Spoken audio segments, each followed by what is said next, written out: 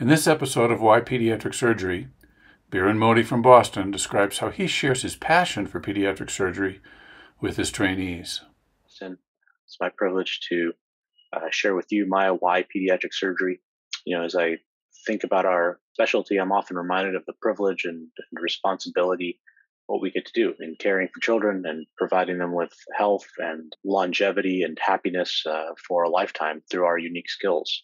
You know, that's true whether we're meeting a five year old in the clinic with an, an umbilical hernia or whether we're taking a sick newborn to the OR in the middle of the night for a midgut volvulus and literally changing their future uh, with our skills. You know, as I think about trying to narrow narrow down our field to that one thing that, that's at the top of my list of why pediatric surgery, it's the ability to take those unique skills and teach them to future generations of pediatric surgeons.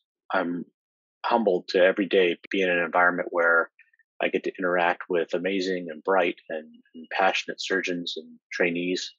Some of those trainees are medical students that I want to motivate and guide into surgery and eventually into pediatric surgery. Some are residents who are honing their skills and narrowing down their interests. And I get to show off our specialty to them and, and have you know, really great conversations with them about what it is to be a pediatric surgeon. You know, often doing a case on call in the middle of the night when they really get get to taste the difference we can make.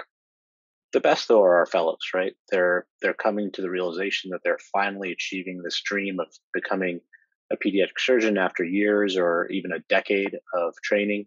Uh, and I get to watch their eyes open to that reality, soak up the two years of literally being in a candy store, choosing and learning from cases and interacting with families and, and patients, and affirming their choice uh, and specialty. I think what it means the most to me personally, you know, now in the middle of my career is uh, is sharing my passion and and lessons learned, um, and really being able to magnify exponentially my impact through our trainees. Um, and so, really, you know, I think paying it forward uh, by teaching is my why pediatric surgery.